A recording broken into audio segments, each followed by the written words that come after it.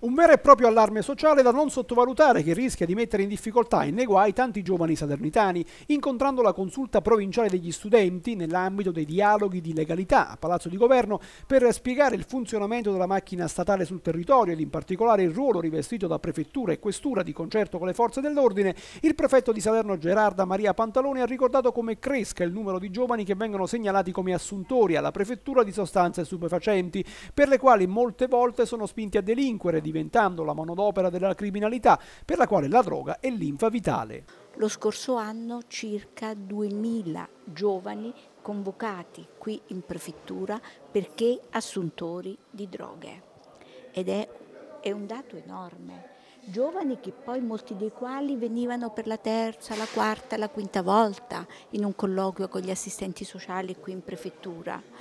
Eh, ed è un qualcosa di molto negativo. Si tratta di giovani, sono gli stessi giovani che provocano gli incidenti stradali assumendo droga, sono gli stessi giovani che per procurarsi la droga rapinano i supermercati, sono gli stessi giovani che in definitiva finanziano la camorra perché la camorra si serve della droga come sua prima attività di sostentamento. L'ha definita linfa vitale per la criminalità organizzata? L'ho definita linfa vitale per la criminalità organizzata eh, e, ed è vero perché accanto alle estorsioni, accanto ad altre cose è uno dei mezzi di sostentamento e purtroppo trova tanti tanti adepti, tanti giovani. E io stavo dicendo a questi ragazzi che non vi è disagio sociale che tenga, non vi è incomprensione che tenga, eh, perché eh, la droga quello che porta lo sappiamo tutti.